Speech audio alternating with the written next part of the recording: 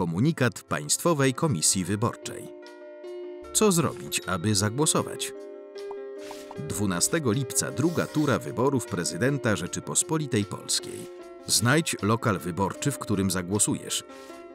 Informacje o nich znajdziesz na stronie internetowej Państwowej Komisji Wyborczej, w Biuletynie Informacji Publicznej Gminy, na tablicy ogłoszeń, a nawet w lokalnej prasie i na słupach ogłoszeniowych.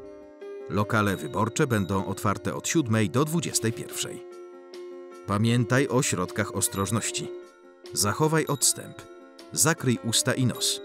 Stosuj się do zaleceń ministra zdrowia dotyczących ochrony przed koronawirusem.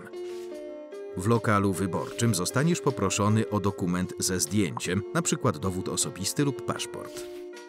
Będziesz musiał na chwilę zdjąć maseczkę, aby można było cię zidentyfikować. Obwodowa komisja wyborcza sprawdzi, czy jesteś uprawniony do głosowania w tym obwodzie, albo dopisze cię do spisu wyborców, jeśli przekażesz jej zaświadczenie o prawie do głosowania. Odbiór karty do głosowania obowiązkowo potwierdzasz podpisem w spisie wyborców. Na karcie postaw znak X w kratce przy nazwisku tylko jednego kandydata. Głosowanie jest tajne. Po oddaniu głosu wrzuć kartę do urny tak, aby strona zadrukowana była niewidoczna.